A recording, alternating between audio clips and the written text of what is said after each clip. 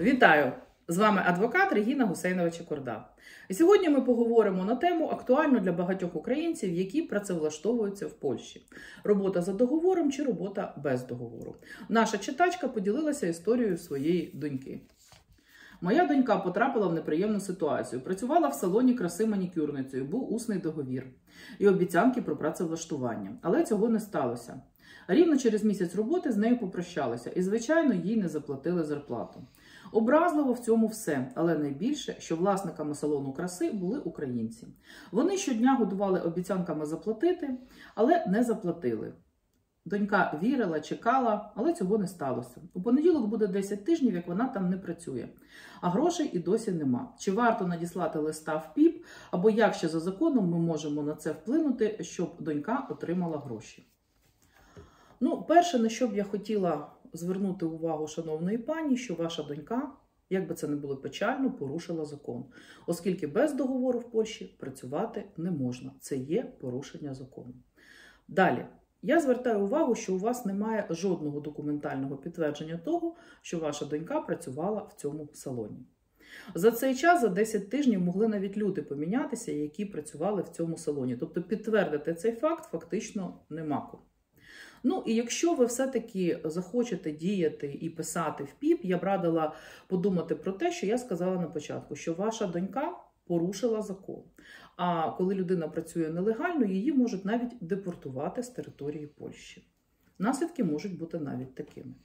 Але якщо ви хочете звернутися до панствової інспекції праці, тобто до ПІПу, і написати листа, що в такому салоні люди працюють нелегально, їх офіційно не оформлюють, ви можете це зробити. Проте ви маєте знати, що якщо навіть панствова інспекція праці прийме рішення, що вони прийдуть перевіряти цей салон, то вони ніяким чином не зможуть перевірити те, що було колись 10 днів, 2 тижні, місяць.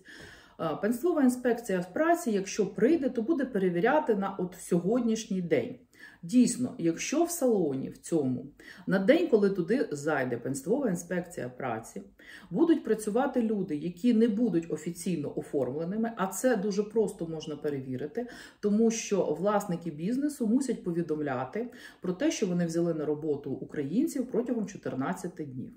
І якщо дійсно у людей не буде договорів, які там почали працювати, то власники салону можуть отримати величезний штраф. Це дійсно так.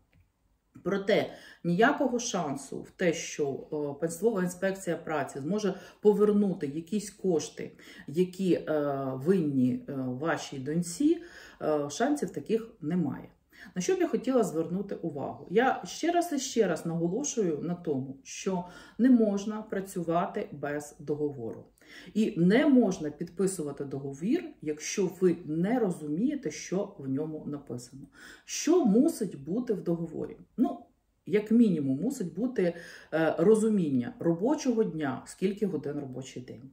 Яка оплата за цю роботу, де взагалі працює ця людина в цьому приміщенні чи в іншому приміщенні. Якщо ви щось не розумієте в договорі, візьміть цей договір і сходіть до юриста. Хай юрист почитає, щоб ви розуміли, що ви підписуєте. Можливо, там якісь страшні і кабальні умови. Праця без договору є порушенням закону, і наслідки можуть бути дуже неприємними. Я звертаю увагу ще раз і ще раз. Це може бути будь-який договір, але він мусить бути задокументованим. Це може бути умова о праці, умова злицення, це може бути договір B2B або а, навіть умова одялу.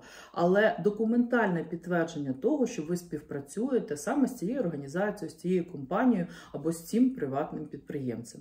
В іншому випадку ви ні в який спосіб не зможете отримати гроші. Більше того, ви будете порушником закону і до вас зможуть застосувати санкції. До речі, часто власники бізнесу про це знають. І коли ви кажете, що ви будете скаржитися, вони відповідають, що ви порушили закони, вас взагалі можуть депортувати. Тому перед тим, як влаштовуватися на роботу, запитайте, чи є офіційне працевлаштування. А більше моїх юридичних порад. І більше взагалі цікавої інформації на нашому порталі сестри.eu